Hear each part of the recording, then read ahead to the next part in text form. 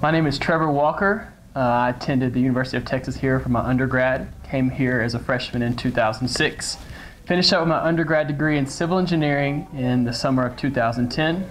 That fall of 2010, I enrolled in graduate school in civil engineering, specifically geotechnical engineering, and now I'm in my last semester of my master's degree, planning to finish up in May.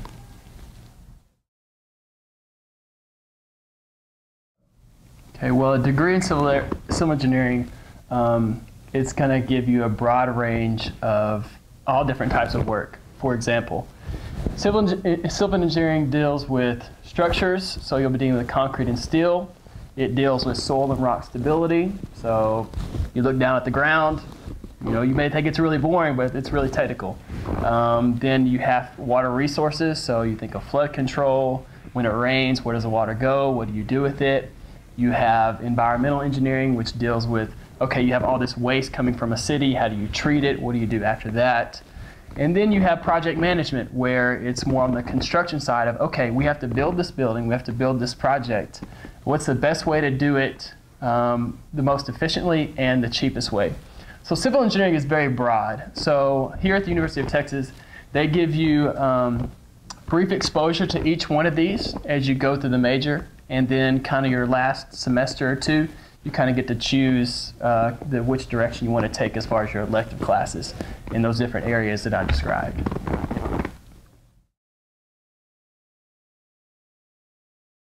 Okay, I pursued a degree in civil engineering because growing up I always liked math and science.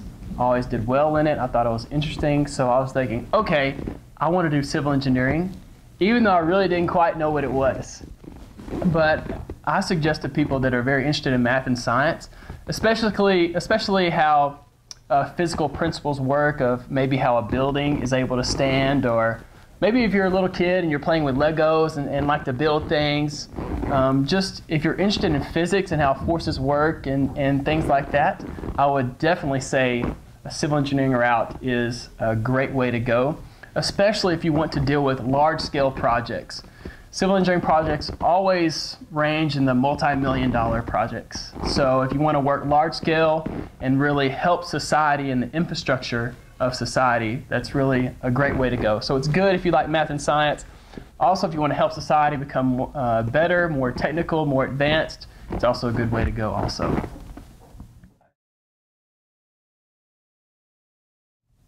So once you get a degree in civil engineering, you have several options.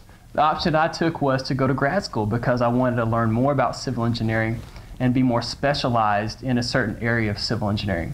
So that's why I chose to pursue a master's degree. I highly recommend it, um, but obviously a lot of people go out and work. With a degree in civil engineering, um, it gives you a lot of options. For example, you can work in a consulting route with a private company. You can work with the government, as such, such as a state or federal agency. For example, we have Texas Department of Transportation here. My research currently is a joint project with them. So they have civil engineers on staff, and you work with the state. Obviously, that has benefits of its own. Um, on the other hand, you can also go the military route. Military is always building things in remote places. They always need engineers to construct bases and do this and that. So with a degree in civil engineering, you have several options, and um, all of them are really good. So uh, the typical course load and course progression as you go uh, through getting your civil engineering degree is one, your first and second year are going to be covering the basics. For example, you have your physics 1 and 2, you have your chem 1 and 2, you have your calculus 1, 2, and 3. So that's going to lay the groundwork for everything that you do after that. Okay, moving on from there, you kind of get into your statics and dynamics where you get into forces and how they interact with one another and doing force free body diagrams. Um, and then once you get past that, then you start getting into your intro level courses to civil engineering. So you have intro to environmental engineering, intro to structural engineering, so on and so forth. So the professors will give you just a little taste of the different aspects of civil engineering. So as you get a little taste of each aspect of civil engineering, then that's when you have you have your discretion to choose what electives you want to take. Okay, so you took intro to environmental engineering or intro to geotech. Okay, and you really like that. Now you get into your electives and you get to choose, okay, I want to take a more advanced class in environmental engineering or geotechnical engineering. So that's kind of the progression of how it goes.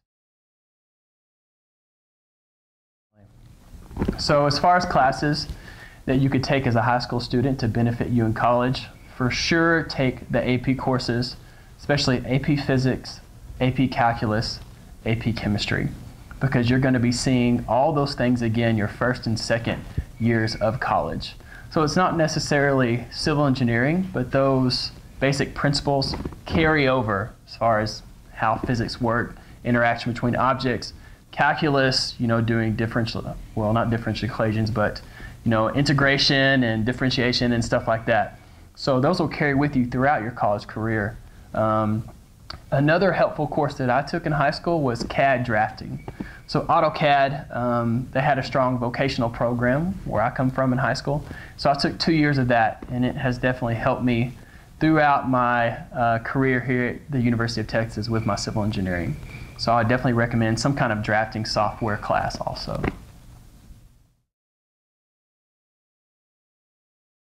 The advice I would give is there is a stereotype that many high school students have to what college is about.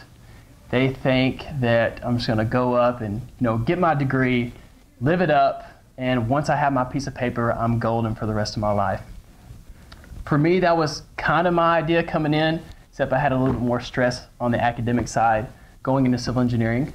Um, but I found out that in my college life so far, I've been on the campus six years, that uh, I feel like I've really matured as a person.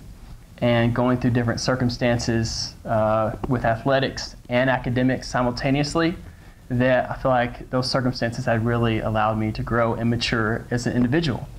I met my wife in college. Um, I got married last year and so I'm really thankful for all these good things that uh, were used to really help benefit me as a person.